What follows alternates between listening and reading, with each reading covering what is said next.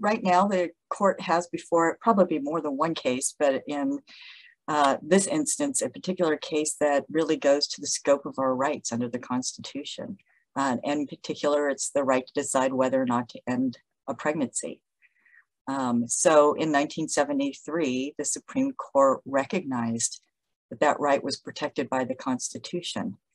In 1992, in a case called Casey versus Planned Parenthood versus uh, Planned Parenthood of Southeastern Pennsylvania, the Supreme Court reconsidered again. Um, and as a result, we have sort of a constitutional test or standard for determining to what extent states or state legislatures um, can restrict access to abortion. Um, and so the standard has been since the 20th century. Um, the idea that after viability in a pregnancy, a state legislature can choose to ban abortion with some exceptions available to protect the health and safety of the mother um, or the pregnant woman. Um, and the test that's used for regulations that apply before viability is one that the court articulated in 1992 in the Casey decision.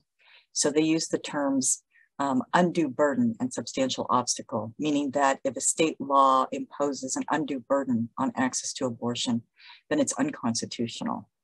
And if it falls below that level, then it's constitutional. So that's why we do have state laws that restrict access to abortion, um, but um, or that regulate the way that abortion can be offered um, and services that can be provided. But we still have a guarantee that in every state, um, the legislatures can't foreclose abortion altogether. But now that's all on the line. Um, so in the late fall, the Supreme Court heard arguments in a case called Dobbs versus Jackson Women's Health Organization and they're considering a state law passed by the Mississippi legislature that would ban abortion from 15 weeks. 15 weeks is well before, before the point of viability. Um, and so that raises the question of whether or not there is a constitutional right um, to abortion or whether state legislatures would have the power to override access to abortion. Um, and it looks like they might do that. so kind of scaling back a little bit. So we know what's going on right now, and let's clear up Roe v. Wade in terms of what is it. And I'm going like hyper focused right here because okay, I, I know it as I've heard it referred to as the law of the land, but it's a court ruling, so it's not a law. It is a law.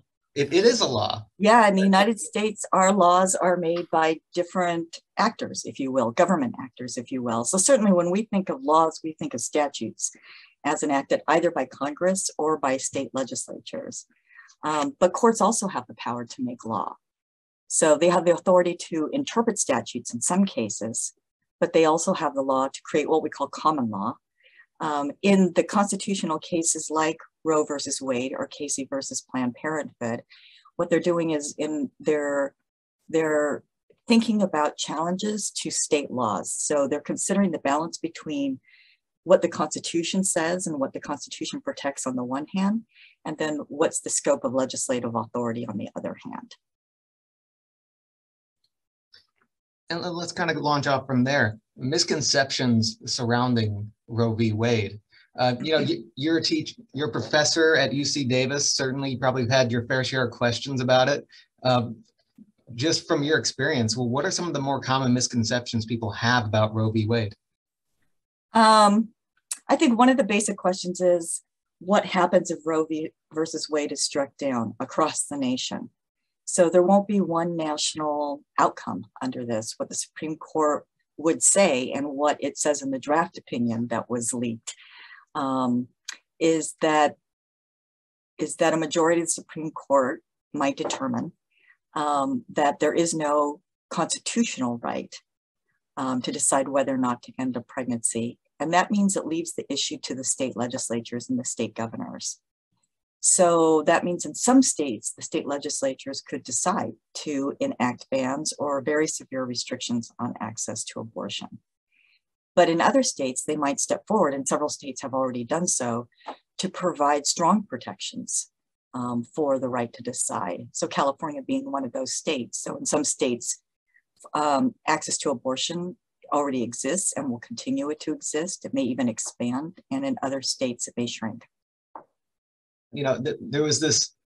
If you listen to a lot of the pundits, uh, go on YouTube anywhere, when they talk about this, a, a fair amount of them will talk about uh, the judicial branch trying to legislate from the bench, and that the the that portion of the government is supposed to say this is constitutional, not constitutional. When you bring up Roe v. Wade, people talk about you're legislating from the bench. You're not supposed to do that.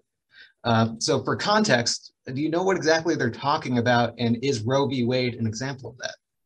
I'm not. I I'm not sure that it is an example of that. So that there are sort of two different angles um, on that particular point. So one is it comes from um, an interpret a way of interpreting the Constitution um, that's often called textualism. Another ver another version of that is originalism, and you see the the sort of conservative majority in Alito's draft using that particular approach. So it's a way of reading the Constitution, and in particular, this interpreting the scope of our individual rights very narrowly by saying that it, we need to see language in express words in the Constitution in order to recognize it as a right. Um, and so repeatedly in Alito's draft opinion, it says that the right to decide is not anywhere expressed in the Constitution. Um, when the court recognized the right to decide, it did so as part of a string of cases in which the court sort of developed this area of what's called substantive due process under the right of privacy. Um, Alito's other point is that nowhere in the Constitution does the court set out a right of privacy um, as it was defined by the court in cases like that recognize, for example, the right to marry or the right to decide or the right to access contraception. Um, and so by interpreting the Constitution um, in a way which recognizes those types of personal decisions as constitutional rights, some people would say what they're doing is legislative. They're making things up. And that's the role for legislators, not for the courts. Um, so that's one way of thinking about it. The other point that Alito makes in the draft opinion is that Roe looks like a piece of legislation because it's it's a he sets out a, the the court in 1973 set out a framework um, for that legislatures could dis, could use to determine which laws would be um, permissible, constitutionally permissible, and which types of abortion regulations would not be. So that's known as the trimester framework. It was rejected by the court in 1992 in the Casey decision. But repeatedly, Alito says it's so detailed that that's like legislation. That's not what we should be doing. Just kind of following up on these talking points that I hear a lot. I heard this idea of settled law I, I don't know if it was from Elizabeth Warren or from someone else, um, but I heard an idea of settled law. And when you talk about Roe v. Wade and the abortion debate, my goodness, it's one of the most heated and passionate arguments of our lifetime. How on earth could any anyone say settled about this debate? So how how exactly do those things coexist?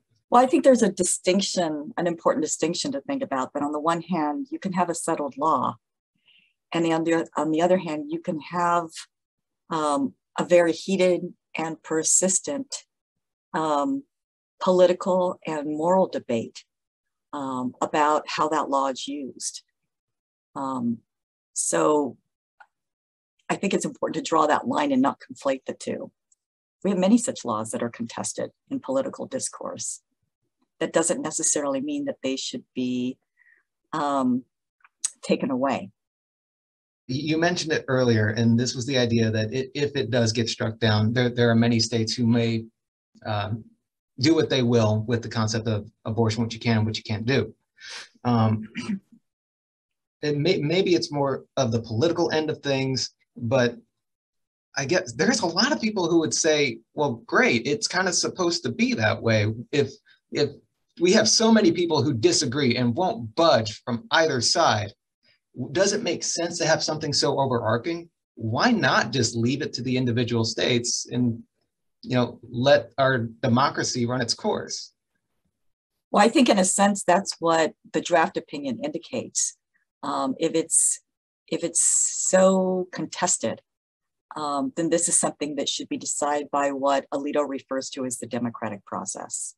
So it's something that our elected officials um, should have the responsibility of addressing on a state by state basis. And certainly we do that with many other types of laws. Um, most of the laws that state legislatures have the authority to do that with are basic health and safety laws. Um, I think the response to that point is that this one's different. It um, secures um, the ability to have the say so over your own body um, um, and without state interference, without go government interference over that. And it also does so in a way that is highly gendered. Are there civil ways for someone who is for abortion rights and someone who you know wants to protect the unborn is there a way to for them to find a middle ground to uh, or even just have a pleasant conversation about the topic without it being so heated can we talk about this civilly um, i think many people are doing that um, it's just you know we the I mean, you started the conversation by pointing out that the terms sort of pro choice and pro life or anti abortion are the terms that are most often used to describe um, this debate. But those are two ends of a much richer discussion. Um, and I think all the polls indicate that a sub substantial majority of people in the United States support some access to abortion. So they might disagree over the details and the scope of the ability to exercise that decision. Um, but the su substantial majority are sort of meeting in the middle already on that point. and I'd be remiss if I uh, didn't toss it over to you. Any last comments? Any any kind of burning uh, uh, statements you got on your mind that you just wanted to uh, put out there? I think it's very important to remember about to remember sort of keep in mind um, who will be impacted primarily by these laws. It's the people who who lack resources to travel um, and who don't already have full access to to health care. Um, so it's the same people who've been hit the hardest by the COVID pandemic, and now they're adding something else on top of that.